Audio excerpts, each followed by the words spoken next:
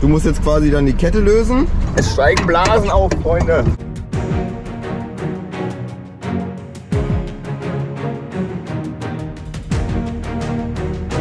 Oh, es ist mal wieder soweit. Man kann mal wieder am Boot sagen, moin Leute. Aber Jan hat vorne gepennt mit dem Hundi.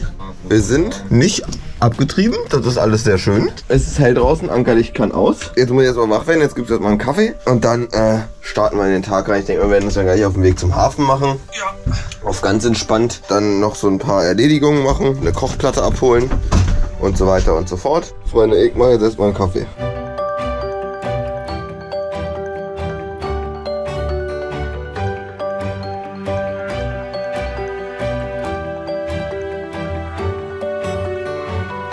So, Freunde, Jascha ist wieder nervös. Wir glühen gerade das erste Mal auf offener See vor und müssen jetzt hier wieder weg. Ist natürlich ein bisschen ein nervöser Moment. Aber warum wissen wir auch nicht genau. Aber warum? Eigentlich müssen wir uns gar keine Gedanken machen. Weil der Motor läuft wie ein Uhrwerk. Der Einlasser läuft auch nicht mehr mit, dementsprechend kann man Ist richtig geil. So, da geht's los. Dann äh, werden wir mal aufankern, wa? Ja, du musst jetzt quasi dann die Kette lösen. Wieder, komm. Wir haben geilen Sonnenaufgang, beziehungsweise die Sonne ist jetzt schon oben. So, wie ihr da unten schön sehen könnt, Jascha zieht die Kette hoch. Ich mache jetzt mal einen, einen Rückwärtsgang einfach lang, langsam, rein. Oh, jetzt, jetzt kommt aber, jetzt kommt aber Gegendruck hier. Und Blasen. Es steigen Blasen auf, Freunde. Ah, hier kann ich ja vorwärts gleich ausfahren, wenn du sagst, wir sind oben. Das dauert wohl noch einen Moment. Naja, ich lass dich mal ziehen. Ich will eine automatische Ankerwinch.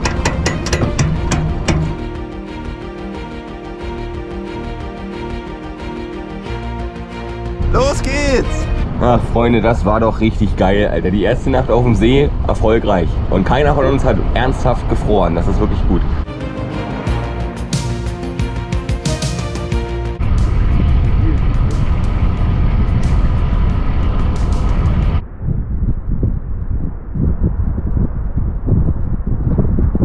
So, Freunde, kurze Storytime. Habt ihr gerade mitbekommen auf dieser Aufnahme, dass wir den äh, liegen geblieben sind? Lag daran, dass unser, wir haben ja einen improvisierten Tank, weil unsere richtigen großen Tanks irgendwann nächstes Jahr erstmal noch fett gereinigt werden müssen. Dazu müssen wir die erstmal ausbauen und das dauert ewig. Deswegen äh, füllen wir immer so einen 20 Liter Tank nach. Und dieser 20 Liter Tank war anscheinend gar nicht so voll, wie wir dachten. Dadurch ist der Motor trocken gelaufen, was natürlich sehr doof ist. Dadurch, dass wir diesen Motor aber mittlerweile gefühlt studiert haben, sind wir da relativ ruhig rangegangen, haben erstmal Sprit nachgefüllt, erstmal neu entlüftet. Hier mitten auf dem See äh, ist zum Glück relativ windstill und dann wollte er immer noch nicht zünden. Dann dachten wir uns so, scheiße, jetzt müssen wir gleich unseren Hafenmeister anrufen, dass der uns hier rausschleppt. Aber schleppen wollen wir nicht mehr. Und weil wir schleppen nicht mehr wollen, haben wir dann Starthilfe-Spray zur Hilfe genommen, haben dem ein bisschen Starthilfe gegeben. Jetzt pumpt er wieder Diesel und wie ihr seht, wir fahren wieder. In diesem Sinne, viel Spaß, wir sehen uns später wieder.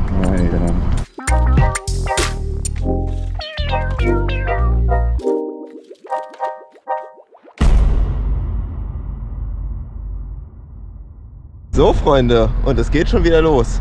Ey, das ist. Wir fahren jetzt gerade den zweiten Tag in Folge raus. Jetzt zu einem anderen See. Letzte Nacht haben wir da vorne gepennt. Der Tank ist voll. Und ja, er ist zu 80 Prozent ja, gefüllt. also so voll, wie wir ihn machen können. Und daran werden wir jetzt auch ausrechnen, wie viel wir jetzt wirklich auf so einer Strecke verbrauchen.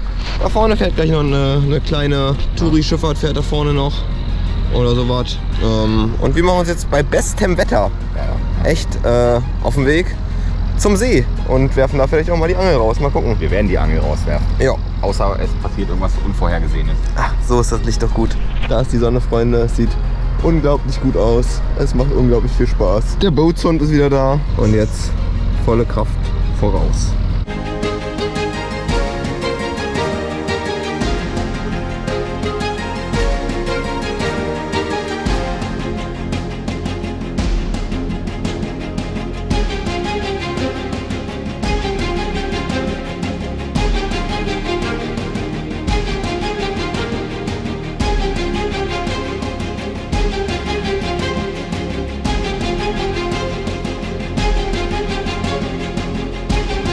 Langsam geht die Sonne unter, deswegen ist Zeit für Enough Lights. Geht natürlich alles wieder äh, Hier schön. Die Lampen sind an, ne? Klar, man sieht noch genügend, aber besser rechtzeitig als zu spät. Immer mal einen Kontrollgang machen, dass auch wirklich alles funktioniert. Und dann ist top. Ihr seht, es ist langsam dunkel, es ist deutlich dunkler auf der Kamera als äh, In echt? in echt. Ähm, aber es ist halt ein super geiler Ausblick. Wir haben unsere Nachtlights an. Ähm, es ist übrigens super klare Sicht. Ähm, deswegen dürfen wir auch noch fahren. Wäre jetzt Nebel, dürften wir nicht mehr fahren. Stimmt, da hatten wir letztens mal Ja. einen Kommentar irgendwo drunter, dass im dunklen Fahren verboten ist. Da können wir jetzt gleich mal unsere Aufklärungsarbeit leisten. Ist es nicht. Ist es nicht. Es ist verboten, im Dunkeln zu fahren, wenn schlechte Sicht ist. Quasi. Allgemein, bei unsichtigem Wetter Genau. darf man nur mit Radar fahren. Ja? Nebel. Haben wir aber nicht. Wir haben unsere Lights to the right, unsere Lights äh, nee, the left und right und natürlich oben und hinten auch. Ne? Hier schöner Mast dran. Musste gerade mal schnell hier eine Vago-Klemme tauschen, weil äh, da uns eine Sicherung gerade rausgeflogen ist, natürlich mitten beim Fahren. Aber guckt euch das mal an. Also das ist doch mal Leben, würde ich sagen.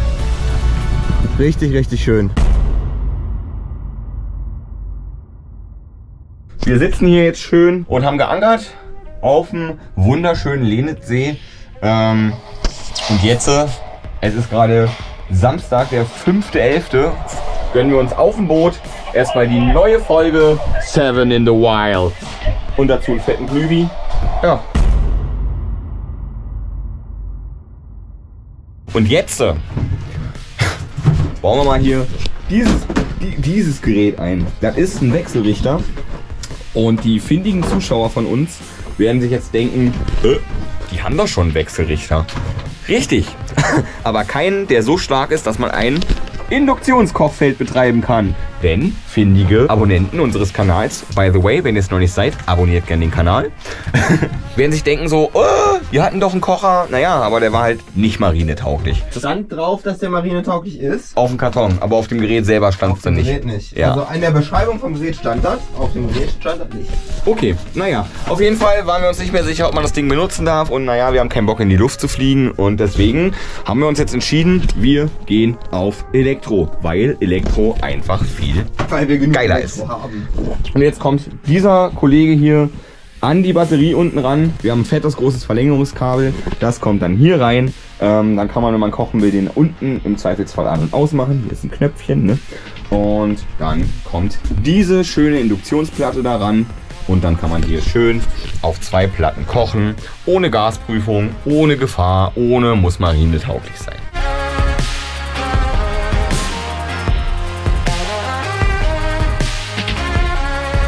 Haben jetzt da unten einen neuen Wechselrichter drin, haben ein Kabel hochgezogen, Verlängerungskabel und hier eine neue Induktionsplatte. Magic Moment. Jo. I think. Es steht halt kein Topf drauf. Gib mal einen Topf. Muss ein Topf drauf sein bei Induktion? Bin der Meinung, ja. Okay, unser größter Topf passt nicht auf die kleinste Platte. Okay. Was heißt das jetzt? oh, neues Geräusch. Aha. Ja, ja, ja, genau. Platte auswählen. Ja. Wir brauchen Wasser. Gib mal schnell Wasser. Ich muss eh Nudeln kochen. Wasser, Wasser, Wasser, Wasser. E4, sagt er an.